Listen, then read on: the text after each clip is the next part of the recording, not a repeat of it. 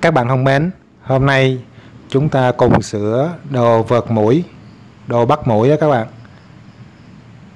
À, cái vợt này nó vẫn còn hoạt động nha các bạn. Bây giờ mình sẽ thử mình sẽ lấy con vít mình thử và phải có con vít cái cán nhựa cách điện nha các bạn rồi mình sẽ bật công tắc lên đó khi có còn bấm thì cái đèn led nó sáng là cái máy đầu hoạt động đó vẫn còn điện nha các bạn. Các bạn nhớ cầm con vít cách điện nha. Và cái đồ vật mũi này nó bị hư cái chốt để mà kéo cái phích cắm điện đó các bạn. Bây giờ chúng ta cùng mở ra để sửa nha các bạn.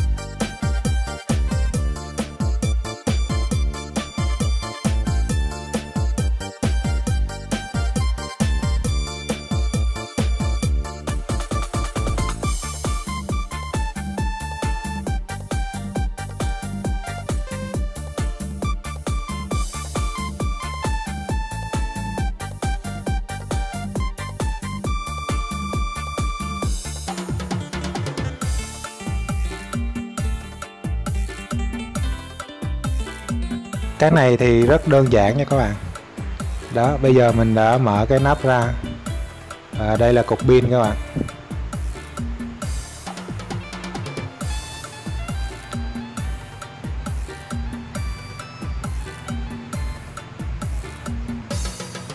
Cục bự mà đen là cục pin nha các bạn. Đó, còn đây là cái ờ, chốt cắm điện nó bị hư rồi các bạn. Đó, bây giờ mình sẽ gỡ ra. Đó, chốt nó sẽ có một cái chốt có cái lò xo ấn vào. Còn đây là hai cái cây phích cắm. Đó, khi mình kéo lên thì nó sẽ ló ra để mình cắm vào điện. Đây là hai cái chốt nối vào điện 220 nha các bạn đó nó sẽ theo cái dây màu xanh này. À, điện 220 sẽ vào cái dây màu xanh này. Và nó sẽ qua cái tụ này nó giảm thế xuống. Và nó qua bốn con chốt nó nắng ra được một chiều để nó sạc vô pin. Còn đây là công tắc. Đây là con transistor công suất đó các bạn. Công suất khi mà nó có dao động thì nó cùng với cục biến thế đó nó sẽ tăng điện lên nha các bạn. Đó, đây là cục biến thế. Còn đây là mấy cái tụ và mấy cái diode để nó chỉnh dòng cho tăng thế lên đó các bạn. Và đây là cái cái lưới sẽ được nối vào à, dây mát và dây lửa các bạn. Đó cái dây đỏ là dây lửa, còn hai dây xanh là hai dây mát. Nó bắt vào hai miếng hai bên hông. Còn cái dây đỏ là nó bắt vào cái miếng dây lửa ở cái giữa nha các bạn.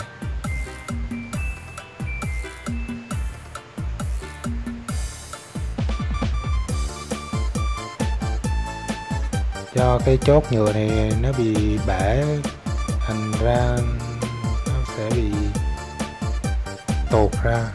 Khi mình gạt lên nó sẽ tuột luôn. Khi khi mình gài vào dây thì khúc trên nó sẽ có một cái chốt nhựa, nó bắt ngang qua. Còn bây giờ nó bị gãy chốt nhựa, thành ra mình kéo lên nó không được.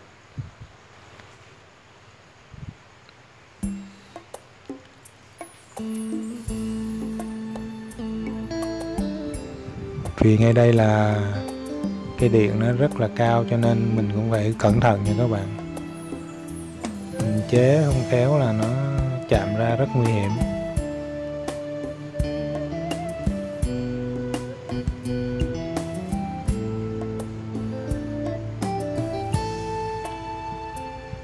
Và bây giờ chỉ còn một cách duy nhất là mình sẽ lấy keo dán sắt, mình chấm cái lò xo này cho nó dính vào trong cái cái miếng nhựa này nha các bạn.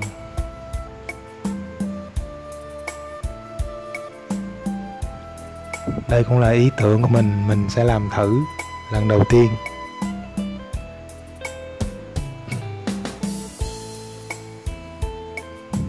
Đó, mình sẽ chấm vào một chút xíu trên đầu lò xo.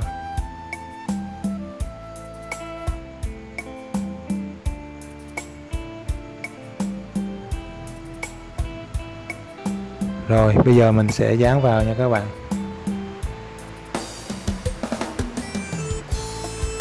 Các bạn dán một tí xíu, cái đầu lò xo thôi nha các bạn. Khi mình ấn vô nó vẫn có một chút lồi nhúng nha các bạn. Rồi mình sẽ giữ cho nó khô nha các bạn.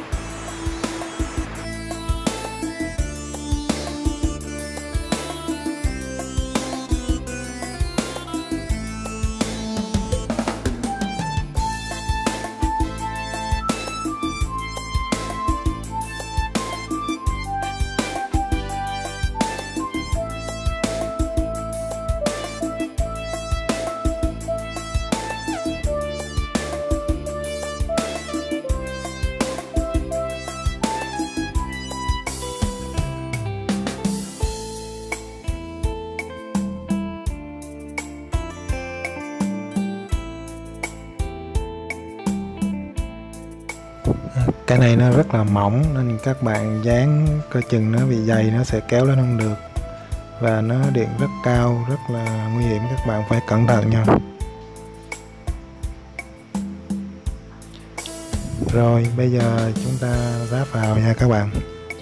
À, đây là cục pin chúng ta sẽ xếp cho nó ngay ngắn cho nó đừng có cấn dây điện.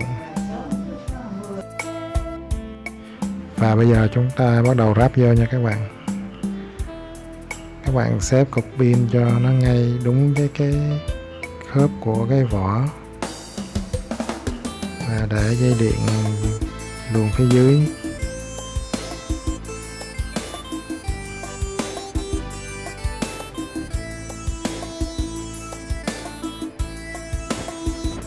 Còn dây sạc các bạn để luồn phía trên.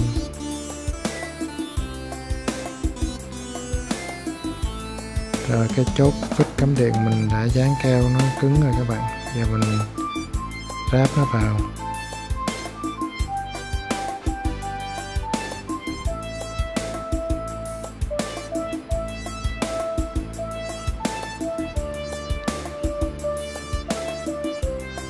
Nó cũng có khuôn sẵn hết rồi. Các bạn chỉ từ từ ráp cho nó ngay đúng.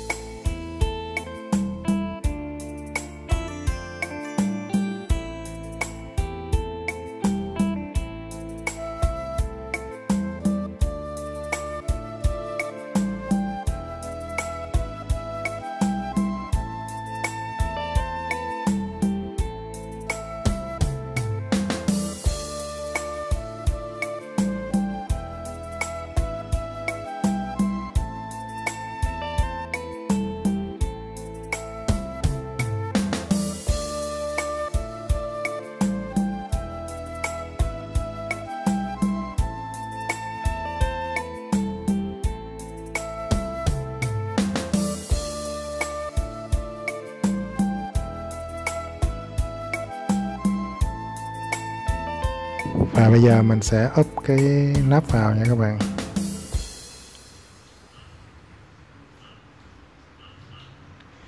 Các bạn phải lật trở lên để mình nhét cái bóng đèn led thông báo khi mình bấm đó các bạn.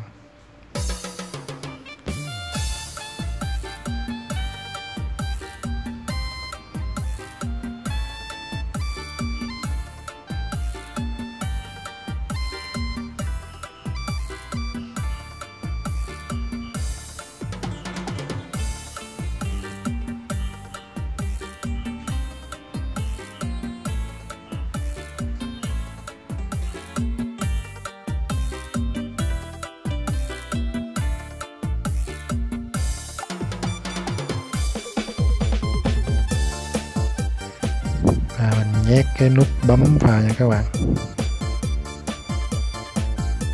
Các bạn sẽ hở nó ra một chút rồi các bạn nhét từ từ vào.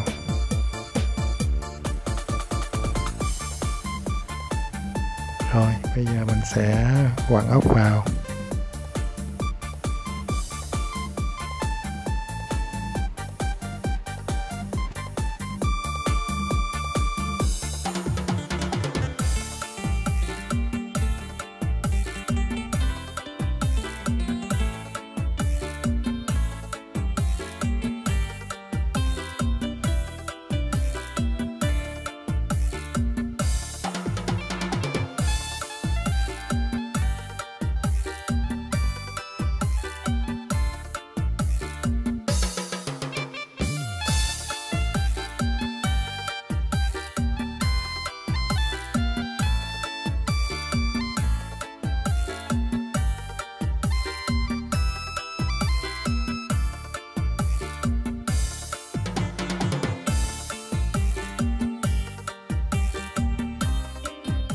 Rồi, bây giờ mình bấm lại thử nha các bạn.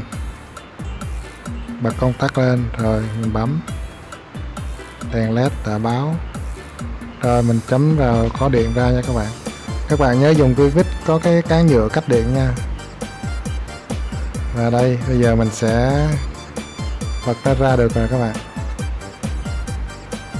Nó hơi nặng chút xíu nhưng mà mình sử dụng vài lần có lẽ nó sẽ nhẹ lại nha các bạn.